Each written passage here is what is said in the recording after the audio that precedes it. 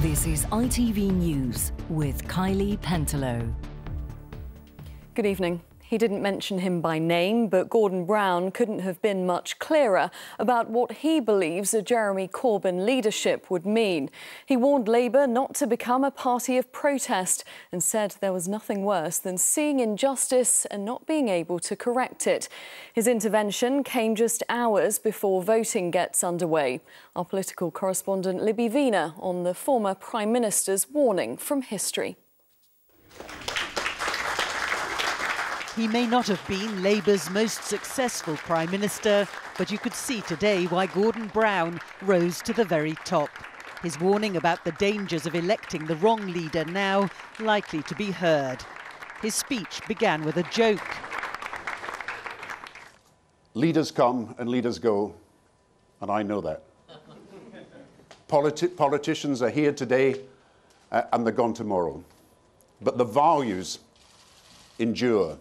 But he was soon talking about the grief of losing two elections and what was at stake for the Labour Party. Our hearts are broken.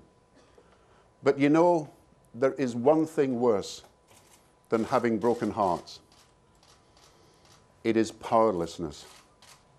To see a wrong and not to be able to right it, to see an injury and an injustice and not be able to correct it, to see suffering and be able to do nothing about it, and when I see the opinion polls that say that the one grouping in the party that is likely to get most votes is the one grouping that even its own supporters say is least likely to be able to form a government, then we have to look at the lessons of our history. Gordon Brown didn't mention Jeremy Corbyn by name, but everything he said suggested that he believed a vote for the left-wing MP and serial rebel would be a vote for political oblivion. It's this woman whom Gordon Brown is said to back. Today, she insisted the race was still wide open. Ballots are almost just arriving, and that's why I think it's really important that people are thinking about everyone across the country who depends on a Labour government, who depends on the things we need to do to change the world, not just be angry at the world. Gordon, is your message don't vote for Jeremy Corbyn? He wouldn't say explicitly, but few listening to him today could doubt that that's exactly what he meant.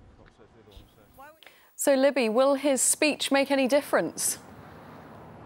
Well, I think it will make a difference. Last week, when Tony Blair intervened, I think many people thought that was counterproductive, perhaps, because he is still such a hate figure on the left of the Labour Party. But Gordon Brown is respected on the left of the Labour Party still. He spoke with great passion today, warning that the party couldn't simply become a party of protest. Now, there are many people who have joined the party in recent weeks, and I think effectively he was laying down the gauntlet to them, saying, did they want to get the party back into power or not?